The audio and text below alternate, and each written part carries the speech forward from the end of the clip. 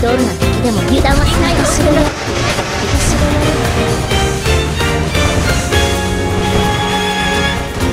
私がやるんだ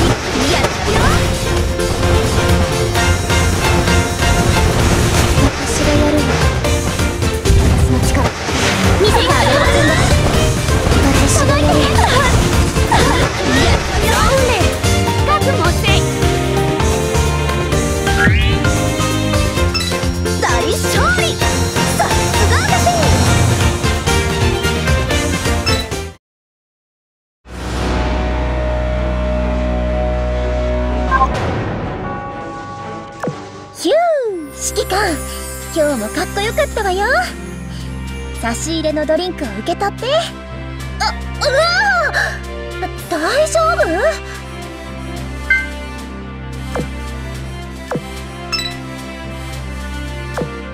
今日も平和だな。こんな風に母校でなんてことない日々を過ごせてるのは指揮官さんが頑張ってくれてるおかげかな。いつもありがとう。指揮官さん。あなたはこの世界で私をたくさん助けてくれた。一緒に種を探してくれた。そんなあなたの真摯な気持ちちゃんと伝わっているわ。ありがとう指揮官。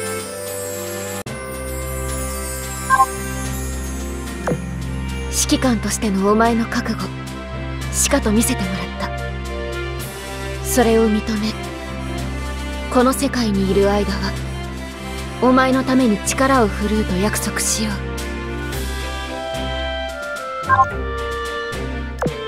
自分の気持ちを素直に口に出すのは大事なこと。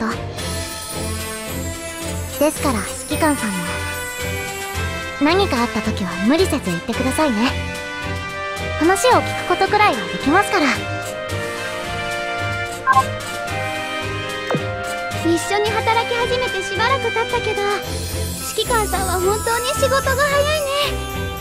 何か秘訣でもあるの？別の世界に来れば己の常識が打ち砕かれるもの。しかしそれも存外悪くはないの？うん。